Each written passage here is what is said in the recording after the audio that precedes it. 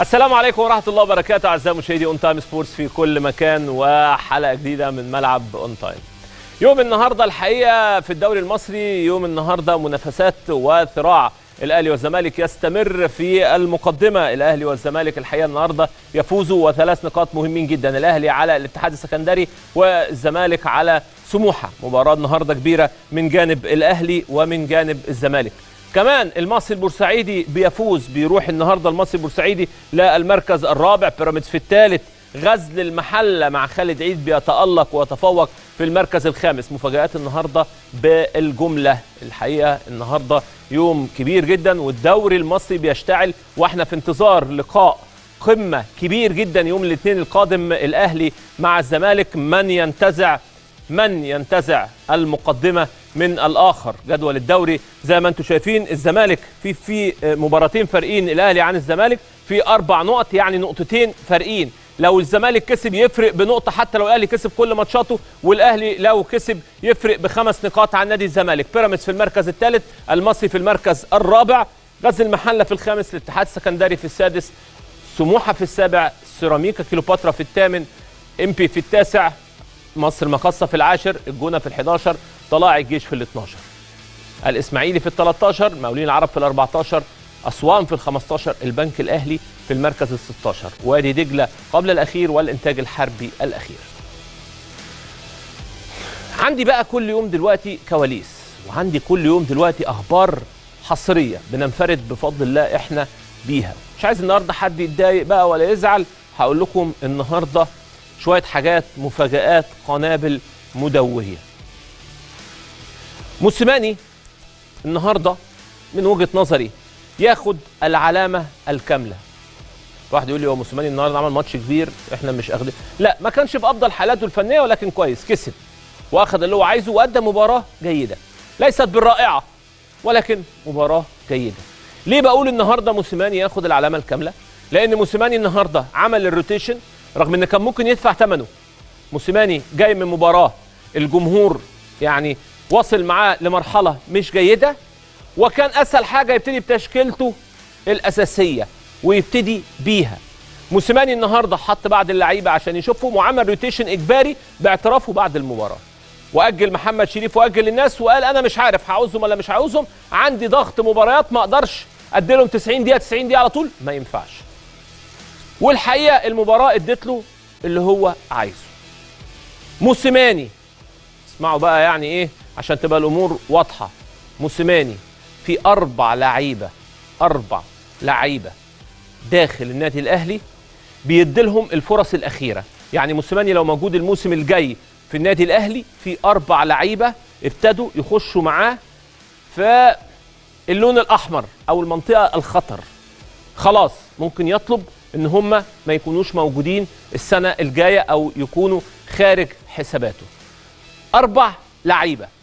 الأربع لعيبة دول فيهم لعيبة موسيماني بيديلهم دلوقتي ما بيديلهمش باستمرار بس بيديلهم عشان يحط الحكم الأخير.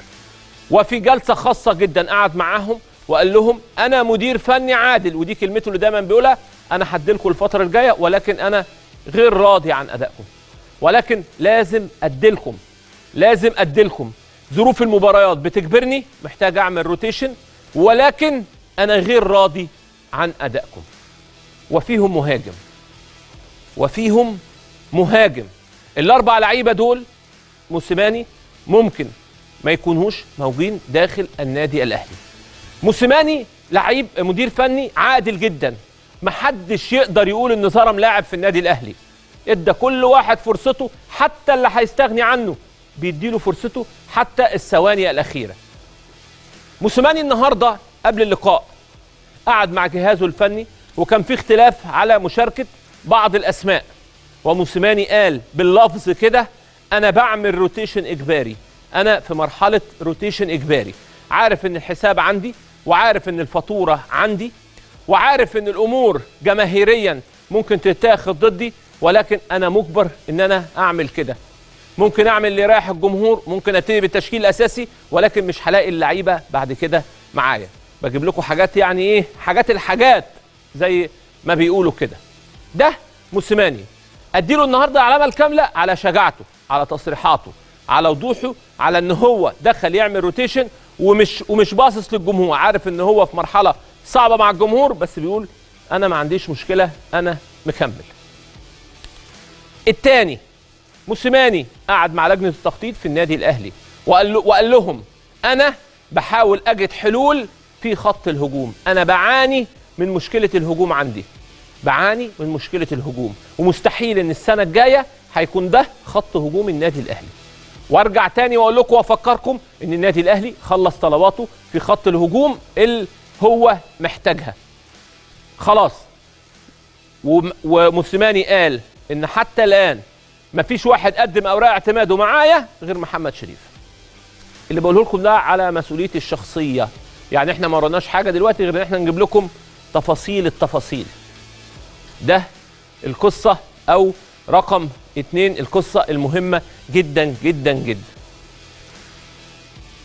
موسيماني اتكلم مع عدد كبير من اللعيبة وقال لهم أنا بعمل روتيشن قبل مباراة القمة القادمة.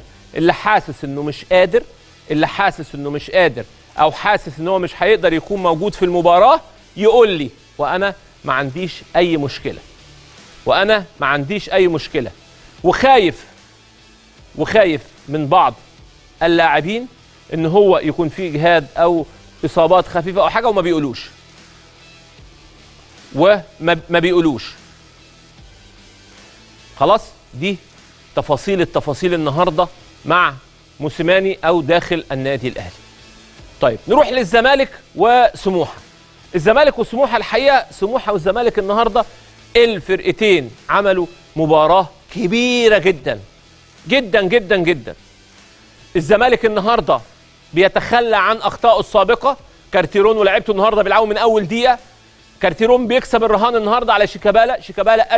آه، أزعج النهارده دفاعات سموحة بشكل كبير. ابتدى بيه من أول دقيقة ضاغط من أول دقيقة جاب هدف بدري. سموحة رجع للمباراة على طول سريعا. كرة هنا وكرة هنا. هجمة هنا وهجمة هنا. مباراة النهارده مفتوحة ما بين فريقين كبار. كابتن أحمد سامي مدير الفني لنادي سموحة. كابتن أحمد مساء الخير. مساء الخير يا كابتن سيف. ازي حضرتك؟ كل أخبار طيب. حضرتك إيه وحضرتك؟ طيب كله تمام؟ كله تمام الحمد لله. hard luck و... ولكن الأداء جيد جدا. والله يا كابتن سيف يعني يعني يعني إحنا اشتغلنا مع نادي الزمالك بشكل بشكل مختلف شوية على الماتشات اللي فاتت من نواحي الضغط.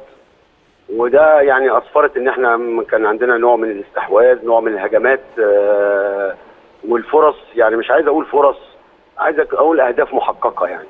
يعني عبد القادر كورة مع ديريك كورة مصطفى كورة وادي كورة. يعني كور آه، الشوط الأولاني أربع خمس فرص أكيدة. يمكن نادي يمكن نادي الزمالك آه، استغل قدرات الفردية للعيبة المميزة عنده وكان بيستغل بعض الأخطاء اللي نتيجة قطع الكورة من عندي آه، كانت بتتحول في المساحات فقدروا يجيبوا جول الأول وإحنا رجعنا بسرعة من جول مصطفى وفي الآخر الشوط الأولاني كان ممكن يطلع نتيجة كانت ممكن تعمل مشكلة كبيرة جدا لنادي الزمالك معانا. يعني كانت كانت فرص دي لو على الأقل ثلاث تجوان من الخمسة دول دخلوا كانت هتبقى فيها مشكلة كبيرة جدا لنادي الزمالك الشوط الأولاني بس لكن على مستوى الضغط وعلى مستوى الاستحواذ لا أنا كنت ند كبير جدا لنادي الزمالك طبعا. و... ودي حاجة دي حاجة مبسطاني من ناحية الأداء لكن أنا طبعا حزين جدا. لأن الفرص اللي بتيجي يعني أنت دورك كمدرب بينتهي عند قرار اللعيب وتحضيره في ال 18 جوه. وبعدين الكور اللي جت يا كابتن سيف آه. لو انت شفتها يعني فرص أكيدة. يعني مش مش مش مش اجوان يعني اجوان يعني آه. اجوان اجوان هل هل هل, هل النهارده كابتن شيكابالا وبن شرقي تعبوك دفاعيا؟ انت بتلعب الزمالك فرقة كبيرة وفرقة من الفرق بتنافس على الدوري. وعندهم طبعا قدرات فردية وعندهم لعيبة كتير كويسة. لكن انت بشكل عام لما بتيجي تتكلم بشكل عام لا انت ند كبير جدا. لنادي الزمالك انت النتيجة العادلة العادلة بكل بكل بشتى الطرق وهي تعادل. يعني بشتى الطرق باستثناء بقى الفرص اللي انت ضيعتها باستثناء الشوط الثاني ان ان ان ان اجبرت الزمالك ان هو يشتغل compact game معاك وبيشتغل على المرتدات معاك. دي كل دي حاجات كويسة وإيجابية ل- لفرقه سموحه لكن في الآخر انت بتقابل فرقة كبيرة جدا نادي الزمالك. قدرات فردية من أكتر الفرق اللي في الدوري عندها القدرات الفردية على مستوى الدوري كله ما قلقتش ما فرق. النهارده يا كابتن من مشاركة مصطفى محمد أمام فريق الزمالك هو تألق الحقيقة بش- مصطفى فتحي وتالق النهارده بشكل كبير ولكن هل ما فكرتش إن ده نادي اللي هو هيرجع له؟ لا أنا ما ما- أنا ما يعني حتة هو إحنا بنلعب آه، مصطفى مستجيب للتكتيك معانا بشكل كبير.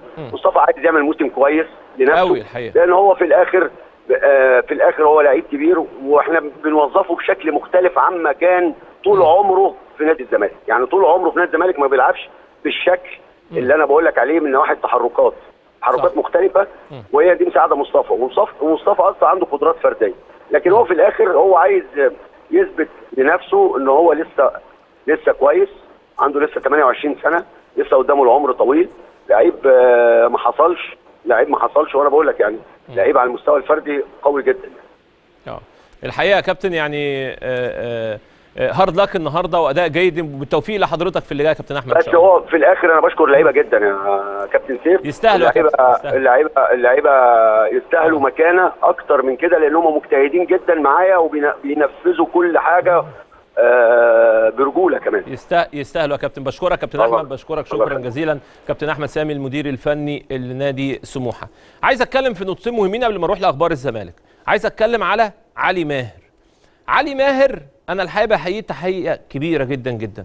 وأنا فخور جدا بعلي ماهر وبفريق النادي المصري ومجلس إدارة النادي المصري اللي وفرت للفريق ده إن هو ينافس بالشكل ده ويكون بالقوة دي. علي ماهر دايما أنا بقف هنا وأقول إن علي ماهر مدير فني كبير. علي ماهر ده ما بقاش مدير فني كبير كده. أنا أنا مش عايزه يزعل بس أنا هشرح لكم شوية حاجات كده. علي ماهر وهو لسه ما دربش كان مقتنع بنفسه وفاكر نفسه حاجة. حقيقي حقيقي. علي ماهر طول عمره الناس تقول لك يا عم علي ماهر ده شغال بالواسطة. عايز حد يتكلم له حد يشغله هنا. جاله مرة منتخب مصر للناشئين قال لك لا لا مش طموحي خالص. يا عم أنت عملت حاجة عشان مبقاش طموحك؟ فكنت أجي أتكلم معاه يقول يقول لي أنا مدير فني كبير. أنا أنا عندي حاجات كتيرة جدا عندي كورة كتيرة جدا جدا جدا في دماغي. الحقيقة علي ماهر راهن على نفسه.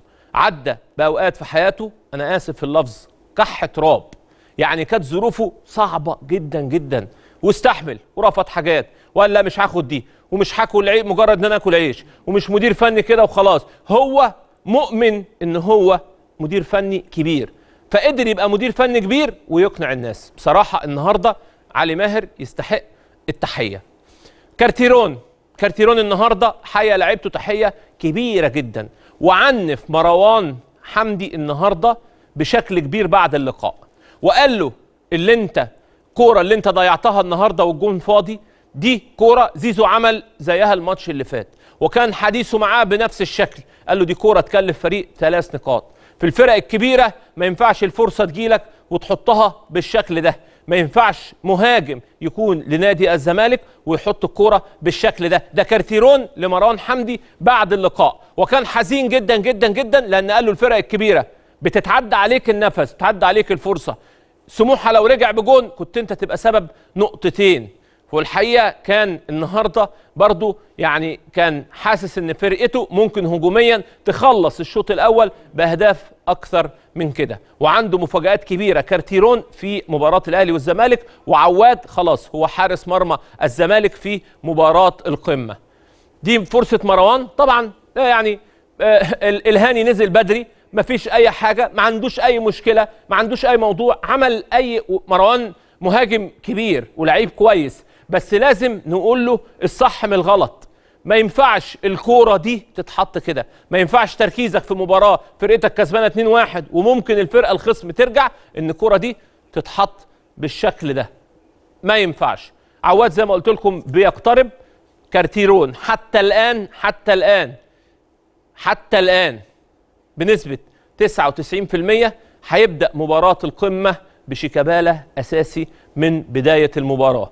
وقال لفرقته في الكواليس وما تقولوش لحد هبتدي ضاغط هبتدي ضاغط من أول دقيقة هكون فعل مش رد فعل. ده كلام كارتيرون مع جهازه الفني في الغرفة المغلقة. طيب كابتن صالح سليم النهارده إحنا في ذكراه. والحقيقة كابتن صالح سليم مش مجرد رئيس نادي. والنهاردة إحنا في الذكرى 19 لوفاة كابتن صالح سليم. كابتن صالح سليم لاعب أسطوري. كابتن صالح سليم رمز من رموز النادي الأهلي. كابتن صالح سليم واحد من اللي حط القواعد والأسس واحد من اللي زرع كتير جدا في النادي الأهلي وكل المجالس اللي جت بعد الكابتن صالح سليم بتحصد هذا النجاح. كابتن صالح سليم هو صاحب المبادئ والقيم داخل النادي الأهلي مع مجموعة طبعا من أساطير الإدارة والكورة في النادي الأهلي. رحم الله صالح سليم.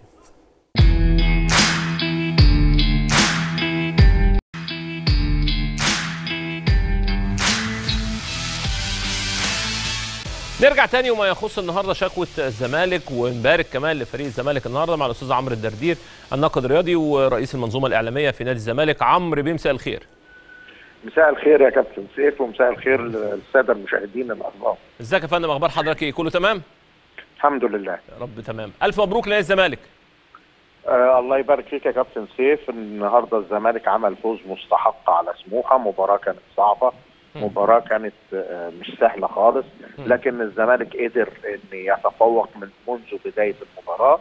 آه آه شيكابالا كان محور أداء نادي الزمالك في الشوط الأول. عمل مباراة كبيرة. الزمالك بشكل عام أدى مباراة جيدة. أدى ادى مباراة أدى مباراة جيدة جدا النهارده الحقيقة. أكيد. وكان في فرص كتيرة والمباراه كانت مفتوحة ما بين الفريقين دي حقيقة. ما يخص الشكوى اللجنة الأولمبية لاتحاد الكرة واتحاد كرة اليد؟ آه الحقيقة نادي الزمالك آه يعني عنده استياء كبير جدا آه مجلس الإدارة أو اللجنة المكلفة بإدارة نادي الزمالك. عندها استياء كبير جدا من اللي بيحصل مع نادي الزمالك.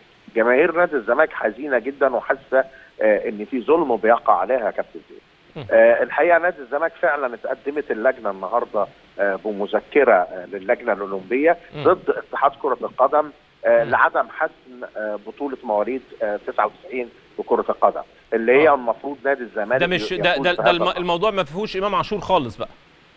لا أنا بتكلم في حاجة ثانية دلوقتي لسه لسه الكلام جاي. يعني الشكوى الشكوى دي ما فيهاش إمام عاشور كمان؟ لا الشكوى دي على حسم بطولة 99 آه آه، آه، أيضا آه، تقدم بشكوى أخرى آه، للجنة الأولمبية برضه آه، آه، بسبب حسم بطولة كأس مصر أو منع بطولة كأس مصر الموسم الماضي آه. للنادي الأهلي في حين إن في أربع فرق متكافئة وصلت لدور قبل النهائي آه. مفيش لائحة آه، في اتحاد كرة اليد ولا ولا في الاتحاد الدولي لكرة اليد.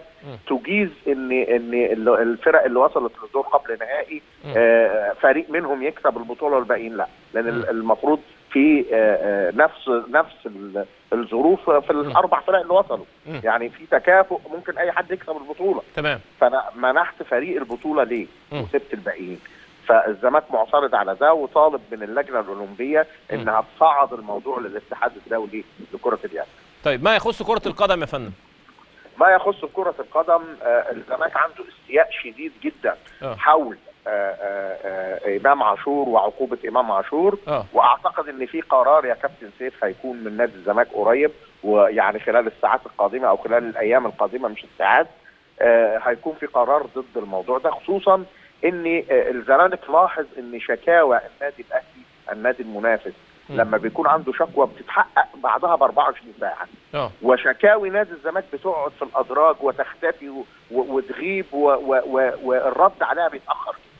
فالزمالك هيكون عنده رد ورد قوي جدا الأيام الجاية ضد اتحاد كرة القدم طب و- طب هيبقى إيه الرد يا فندم يعني؟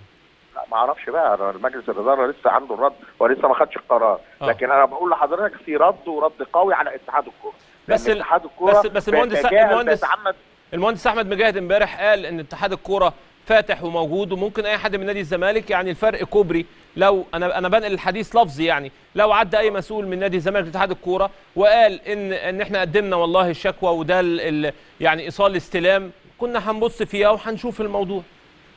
الزمالك مش هيقدم شكوى ثاني لأن هو قدم أول مرة والشكوى وصلت اتحاد الكورة وعندنا ال print ويمكن نشرناه ال print ال- الفاكس اللي وصل لاتحاد الكورة. عندنا ال print بتاعه وإحنا قدمنا بالفعل آه، لنيابة وسط القاهرة آه، آه، نعم. بلاغ ضد هذه الواقعة.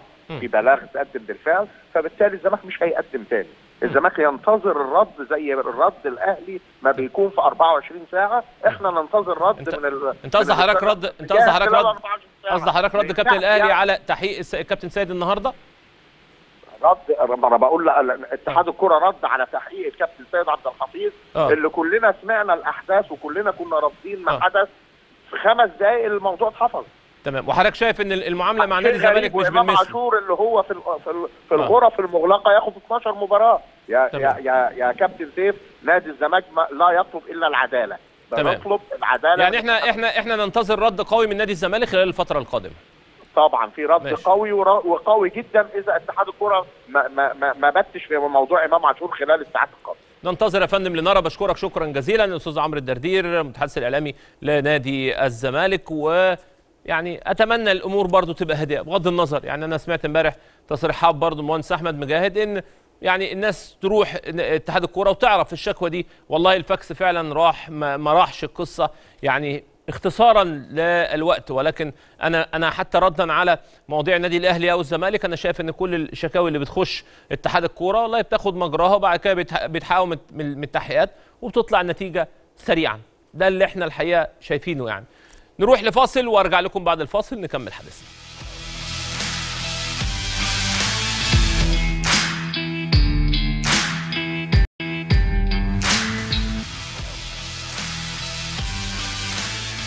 ورجعنا من الفاصل ونتكلم على أزمة الزمالك وشكوى نادي الزمالك لاتحاد الكرة واتحاد كرة اليد للجنة الأولمبية المصرية الكابتن ياسر إدريس عضو اللجنة الأولمبية المصرية. كابتن ياسر مساء الخير. أهلا كابتن سيد ازي حضرتك؟ ازيك يا كابتن؟ أخبار حضرتك إيه؟ كله تمام؟ الحمد لله كل سنه وحضرتك طيب؟ وحضرتك طيب يا كابتن. يعني ما ما يخص شكوى نادي الزمالك ضد اتحاد الكرة واتحاد كرة آه، اليد؟ وهل اللجنة الأولمبية معنية بهذا الأمر ولا هذا شأن داخلي لكل اتحاد؟ لا هو الحقيقة يعني آه يعني دايما في لغط في الحتة دي بس أنا يعني فرصة عند حضرتك أوضحها. أنت حضرتك عارف إن الدستور المصري في مادة 84 بيحترم المواثيق ال- الدولية وال, وال وكل كل التعهدات الدولية وبالتبعية القانون والميثاق الأولمبي بيسمحوا لأن اللجنة الأولمبية هي المسؤولة عن الحركة الأولمبية وعناصر الحركة الأولمبية في الميثاق الأولمبي هي ال- الاتحادات الرياضية وأعضاء جمعياتها العمومية اللي هي الأندية واللاعبين والمدربين والإداريين وهكذا. فطبعا تبعية ال- الأندية وأعضاء جمعية عمومية والاتحادات بتبقى للجنة المصرية. تمام. طب يا فندم هل هل الإجراء دلوقتي حضراتكم هتبعتوا تجيبوا الاتحاد اليد واتحاد كرة القدم؟ لا إحنا بندرس الشكوى يعني هي بتعرض على لجنة الأندية والهيئات. فلجنه الأندية والهيئات بتدرس الشكوى وتبعت تاخد برضو الرد من الاتحاد الهاندبول والاتحاد ال- كرة القدم. وبنشوف يعني تصويب الصح إيه وبناخد إجراءنا وممكن نخاطب الاتحادات الدولية في هذا الشأن. آه، بخبرة السنين كده بخبرة السنين وليس وليس قرار بخبرة السنين بالنسبة لك. شايف إن ممكن يكون الزمالك عنده حق فيما يخص اتحاد الكورة واليد ولا لا؟ آه لا ممكن يكون عنده حق. مش عشان أنا زملكاوي بس آه. الشكوى يعني فيها شيء يعني لأن بما بما يخص بما يخص الاتحادين ولا اتحاد واحد؟ آه في- فيما يخص الاتحادين لأن اللوائح لابد إنها تكون يعني أنا أنا شايف إن إحنا لما نحط لائحة لازم بنلتزم بيها بس في الآخر. برضه لازم نسمع رد ال- الاتحادين رد الاتحاد انما إنما على كلام نادي الزمالك إن في لائحة واللائحة دي لسه إحنا ما بصيناش برضه على اللائحة إنما لو اللائحة فيها هذه آه. البنود ممكن جدا الزمالك يكون له حق ممكن يكون عنده حق يعني نن- ننتظر إن شاء الله لنرى يعني كل سنة وأنت طيب يا كابتن ياسر وإن شاء الله نشوف. حضرتك على خير حضرتك طيب خيرك. بشكرك يا فندم شكرا جزيلا. كابتن ياسر إدريس عضو اللجنة الأولمبية المصرية. اللي قال مبدئيا ممكن يكون نادي الزمالك على حق نشوف بعد الفاصل ونكمل وجهة نظر نادي الزمالك.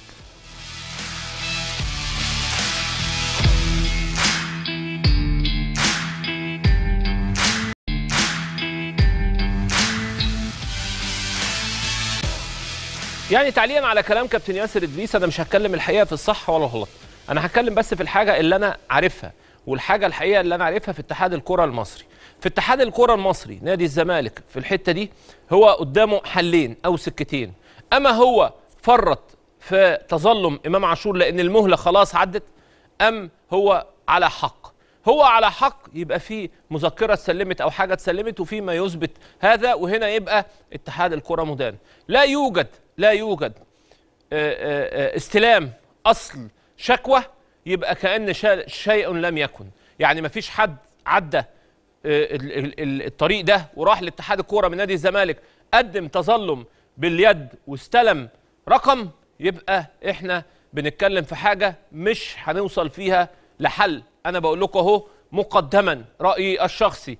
القصة دي مسألة ورق. أما في ورق يثبت إن نادي الزمالك قدم شكوى رسمي واخد كعبة واخد استلام تقديم الشكوى خلاص هو هنا صاحب حق لأن العشر آه، آه، أيام بتوع المهلة أو الزمن بتاع تقدم التظلم عدى. فهنا في واحد مخطئ أما نادي الزمالك أو اتحاد الكرة. أنا امبارح سمعت تصريح المهندس أحمد مجاهد مع الكابتن مدحت شلبي وقال فيه إن يعني الدنيا بسيطة وسهلة. كان ممكن نادي الزمالك حتى لو التظلم مش موجود كان يجي ويقول إن ميعاد التظلم أو آدي الكعب التظلم أو آدي قصه خصوصا إن اتحاد الكرة مسهل الأمور بشكل كبير. ابعت ونخصم من حسابك أو حتى نعلق في حسابك أو على أو عليك مديونية نعلق على المديونية. يعني كان زمان لازم تيجي تدفع الفلوس دي كاش فأنا الحقيقة شايف إن القصة ورق. مين الغلطان ومين اللي صح؟ ورقة هي اللي هتبين. نطلع فاصل وأرجع لكم بعد الفاصل.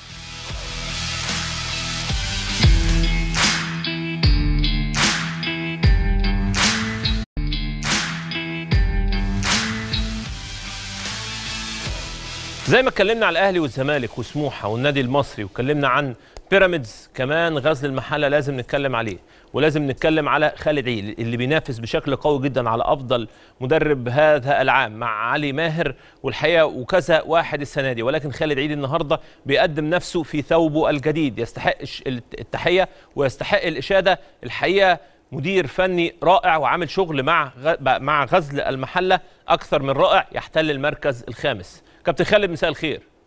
مساء الخير يا كابتن سيف ربنا يخليك. مبروك الفوز النهارده كابتن. والله الحمد لله والله فضل من ربنا الحمد لله. وبشكر اللعيبة عليه على المجهود اللي بيبذلوه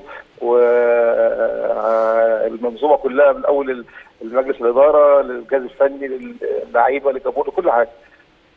يعني الحقيقة يا كابتن هو فوز النهارده مش بس على فوز فريق كبير لا ده انت جاي من النادي الأهلي وكسبان. فشيء الحقيقة مش سهل. يعني إنك آه تيجي. دايما الفرقة اللي تلعب الأهلي والزمالك وتيجي كسبانة دايما يقولوا إنها بتخلص بنزين بتيجي مخلصة أكيد. بنزين. عشان تشحن تاني وت- وتأدي أداء بالشكل ده أمام إمبي شيء رائع الحقيقة. والله بص يا كابتن سيف إحنا إحنا متوقعين الحاجات دي. يعني إحنا اتكلمنا قبل الماتش إمبارح آه، في ال- الاجتماع بتاع ال- المحاضرة بتاعت ال- الفيديو وكلمتهم قلت لهم على فكرة وقبل الماتش برضه اتكلمنا النهارده ما حدش حد هيقبل إنت كسبان الأهلي. أي نتيجة ثانية سلبية يبقى إحنا كده آه، الناس هت- هتتكلم علينا. آه، أنا الماتشات ديت أنا أنا عامل حسابها قبل قبل الأهلي كمان. يعني الماتشات ديت كلها آه، بتبقى صعبة جدا. وحضرتك زي ما قلت إيه بعد مكسب ال- الأهلي الماتشات كلها بتتصعب فأنا قلت له قلت له بعد قلت لهم يا جماعة لازم نأكد مكسبنا آه، اللي فات.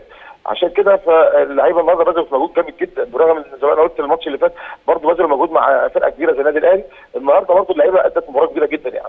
كابتن كابتن عندك دلوقتي طموح المنافسه لدخول المربع الذهبي؟ أكيد طبعا يعني أي واحد طبعا آه، بيتمنى يخش المربع الذهبي أنت خلاص قربت أهوت. آه، يعني طموحنا زاد وطموح الجماهير زادت فأتمنى من ربنا سبحانه وتعالى واللعيبة يجتهدوا الفترة اللي جاية بحيث إن إحنا نحط المح- المحلة في مكانها الطبيعي يعني. بالتوفيق يا كابتن لحضرتك وللمحلة وتستاهل الحقيقة التحية وفريق المحلة بلاعيبته بإدارته كلها يستاهلوا التحية والاشاده الحقيقة. ربنا يخليك يا كابتن سيف ربنا يخليك يا كابتن. بشكرك يا كابتن خالد أتمنى لك كل التوفيق إن شاء الله بإذن الله. منافسة الدوري منافسة شرسة جدا. أرجو أرجو أرجو.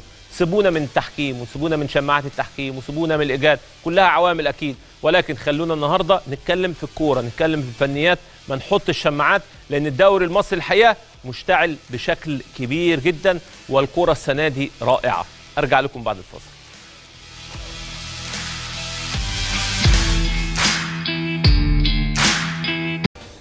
محمد صلاح كل يوم بيكسر الحاجز الحديدي وكل يوم الحقيقة بيعبر بخطوة. جائزه لوريوس للإبداع الريا- الرياضي وجائزه الملهم. الملهم الحقيقة لقب. يعني ناس كتيرة جدا قالوه على صلاح.